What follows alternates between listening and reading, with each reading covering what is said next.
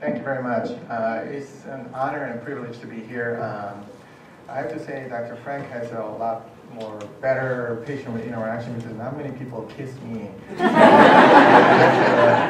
has.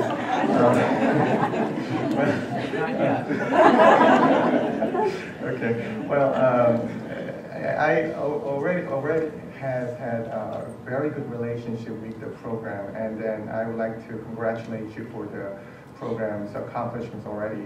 And it is a rather uh, you know, young program, but it has helped so many people and many of my patients as well. So thank you. So I'm going to talk briefly about uh, minimally invasive urological surgeries. So we are going to talk about two uh, urological organs. So First, I'm going to talk about prostate, and uh, since we don't have a lot of time, we're not going to talk too much about the kidney. But with the prostate, we're going to talk about two conditions. One is a benign prostatic hyperplasia, which is a very common condition for aging men. Women don't have prostate, so women don't have to worry about this. So there are two different ways that we can approach surgically. We'll go into uh, a little bit more detail soon. And secondly, I'm going to talk a little bit about prostate cancer, which is very common. It is the most common non-skin cancer in U.S. men, and especially it's more common in African American men, and they tend to have more advanced stage and more aggressive form of cancer at the time of detection. And so radical prostatectomy has become the number one treatment option for the localized prostate cancer. And the robotic prostatectomy now accounts for about 80% of cancer surgeries for prostate cancer nowadays. So we'll go into that a little bit. So since it's uh, a little bit of educational event too, so I wanted to give you a little bit of anatomy lesson. So the kidney filters blood and produces urine, and then the toxic substance or substance will be uh, you know, passed down from the kidney through a tube called ureter, and it gets collected in the bladder here. And then the acid urine gets collected here, and then when it's time to void in man, the man's bladder will squeeze, and the urine will pass through the tube called urethra, and it comes out in the male genitalia. And this urethra passes through the prostate. So you can think of the prostate somewhat surrounding the urethra. So you can think of it, if the prostate gets bigger and bigger and bigger here, then it will squeeze the urethra. And then as a result, man will have a hard time voiding. So there are many treatment options. So one way will be the medical therapy. You can either relax the smooth muscle in the prostate or shrink the size of the prostate gland. But the other way, if the medication do not work, then you have to consider uh, surgical options. And one of them is what we call transurethral. So after the man is put to sleep, then we put a metal tube with all the instruments, with the scope, as well as uh, some other instrument to pass through the urethra and get to the prostate. So we are looking inside of the prostate and then make the hole bigger and bigger inside of the prostate by either vaporizing or cutting. And one of the most common way that we used to do is called transurethral resection of the prostate gland. And nowadays we are using laser.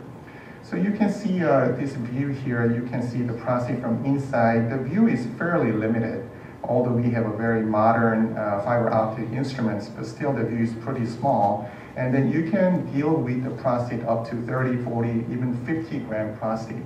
So if your prostate is slightly enlarged, medication does not work, this is perfect option. But what if the prostate gets even bigger? So prostate that is bigger than 75 grams or so that we used to, we still do, uh, what's called a simple prostatectomy. What that means is that we leave the capsule or the shell of the prostate behind, but core out what's inside. And we used to do this operation in open fashion. We used to make an incision about this long, and then in the lower abdomen, and then try to core out prostate. And that can be rather bloody. And so it's not really the safest thing for people who choose not to receive any transfusion. Then the robotic surgery came about. So it's, uh, we started doing robotic simple prostatectomy for men who have a very enlarged prostate gland. I told you briefly just now that average prostate for normal people is about 30, 40, 50 grams. And we do this operation for patients with uh, most of the time uh, more than 100 grams. The biggest one we had taken out is 280 grams. So um, then you can say, well, and then as a result of using the robot and laparoscopic approach that we really do not need a lot of transfusion anymore. And is that because the robot has better hand than the surgeon? And the answer is no. The why we don't need a lot of transfusion or less blood loss is this, this needle. So this is the very beginning of the laparoscopic approach. What we do is we stick a needle into the abdomen and we inject carbon dioxide gas. So we call it pneumoperitoneum. What that means is that you're continuously injecting the carbon dioxide gas and your abdomen becomes somewhat of a pressurized chamber. So if you make a small cut into the either capillary blood vessels or venous blood vessel, though you don't see a lot of blood. Even arterial vessels, you don't really bleed a lot compared to the open surgery. This really revolutionized how we do the operation. The blood loss has gone down significantly, and then also the transfusion rate has gone down significantly. Dr. Frank will talk about that as well. So that was the brief introduction and uh, overview of the uh, benign prostate hyperplasia. And next, I want to talk to you briefly about the prostate cancer. And we're going back to the anatomy lesson. So you have uh, this person with the head on the right and the leg on the left. And you have the bladder. Once again, the bladder holds the urine, and then the urethra passes through the prostate and out. And so here's the prostate, but outside of the prostate gland, you have a lot of structures. So here, you can see the arrow here, right? Okay. So here you have a muscle. And those are sphincter muscles. You can think of it as a valve. So if you want to stop the, for men and women, if you want to stop the flow in the middle of your urination, that's the muscle you are contracting. And also, you, uh, a lot of women know this Kegel exercises. This is what you are exercising. So you are doing that. So you want to make sure that you don't injure that. And you have some very important nerve structures that are right outside of the prostate gland, and they are responsible for erection, not the sensation, but erection for men. And you also have this thing called dorsal vein of penis. So it's a vein, it looks like a fairly benign procedure, but it comes right outside and right in front of the prostate gland. So in men, a normal man, we have about five liters of blood. And if you try to remove the prostate gland, this dorsal vein has to be controlled or else you can have a catastrophic bleeding. So briefly talk about, I want to talk about the history of radical prostatectomy. So Radical means the whole thing. The, briefly, uh, a little bit earlier, we talked about simple prostate prostatectomy. That is uh, for the benign prostate hyperplasia leaving the shell of the uh, prostate behind and just coring it out. If you are doing a surgery for prostate cancer, you want to take the whole prostate out, including the shell. So that is called the radical prostatectomy. So the first radical prostatectomy was for prostate cancer was done at Johns Hopkins in 1904 by a guy named uh, Dr. Hugh Hampton Young. He was our very first chairman of our department, and he was a chairman for 30 plus years. I mean, he was a remarkable man. But anyway, so he developed a procedure called radical perineal prostatectomy. So radical means the whole thing, prostatectomy, removing the prostate gland, and perineal means perineum. So it's an area between the man's scrotum and anus. So green is the prostate. To get to the prostate, you try to get either this way, which is a radical perineal, or you can do the retropubic. So retro means behind, pubic means pubic bone. So to get to the prostate, you are going behind the pubic bone, push down the bladder, and get to the prostate to remove the prostate gland. So radical prostatectomy, though, had a problem. So one of the devastating side effects was life-threatening bleeding with the radical retropubic prostatectomy. So you can look at this prostate on the side view again. So here's the prostate, bladder here, and you have a dorsal vein of penis, and that comes right outside of penis and also drains the other pelvic uh, structures, and then goes on top of the prostate gland. So I briefly told you that you can, you have about uh, five liters of blood in normal man. And if you cut this dorsal vein without suturing, it depends on the person, but uh, I have seen people lose one to two liters of blood. So it's 20 to 40% of your blood in a couple of minutes. And you can see this thing, and blood comes out. And so that was a very, very dangerous operation. Until uh, 1982, Dr. Patrick Walsh, who was the chairman at Johns Hopkins, came up with a new way of doing the operation called anatomical radical retropubic prostatectomy. He figured out that dorsal vein is there, and he figured out the way to control the blood vessels at that time. So as a result of that, the radical prostatectomy has become very, very popular.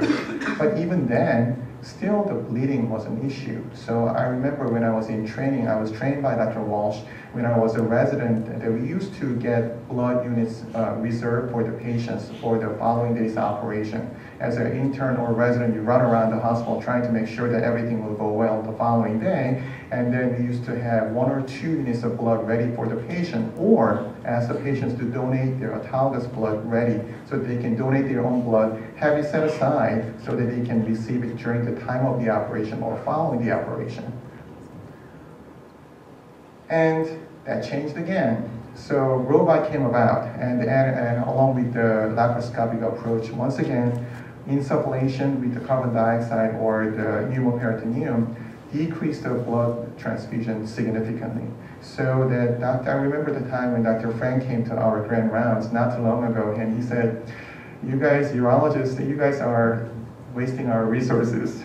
he said, you, "You don't really need to get uh, blood set aside anymore for the robotic prostate surgeries anymore. So we used to set aside two units for the open prostate operations. Now we don't even type and screen anymore. So uh, that has been a huge, huge change for us.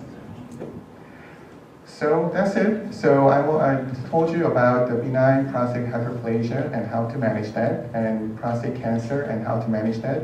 And because of the uh, new surgical uh, approach as well as the help from the Center for Bloodless Medicine and Surgery that we can address the need for a lot of patients who do not want to or who cannot receive transfusion. I want to thank you for your attention.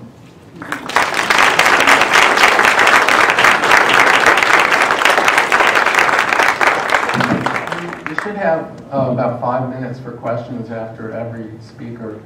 And while you're thinking of questions for Dr. Han, uh, I will say that uh, I keep the transfusion database at Hopkins, so I ranked all the surgeries on a scale from the, the most likely to the least likely to require a transfusion. And uh, when you look at the robotic uh, prostate surgery, we have transfused one patient in the last thousand uh, procedures that we've done. And that particular patient was anemic to start with. So the chances of bleeding with the robotic surgery are close to zero. And the chances of transfusion are close to zero. So this is really a revolution in, in the way we do surgery. Uh, at first we didn't like the robot, it was too cumbersome and it took longer, but now it's the way to go. So if anybody has any questions about urology or robotic surgery, we're open for questions is the purpose of the gas to pressurize the abdomen, the area there, or does it freeze it, or what's the purpose so it's a, a, room temperature gas, and then it's, it's, to expand the area so that we have a bigger area to work around. And uh, because the robot uh, has a magnified view, so when, uh, for the surgeon, we always talk about the field, and we would like to have a good surgical field, and we would like to move around. And from the open surgery to go to the robot, you feel like you're working in a, such a huge area uh, because everything is magnified view, and then you have a bigger area because the abdomen is distended. So. In my mind, I'm looking at this from the anesthesia perspective on the other side of the drapes. Uh, it looks like the, the air they put in the abdomen pushes all the other organs out of the way so, so they get better exposure. I think that's what Misop said. Um, so thank you, Misop, for being here. And uh,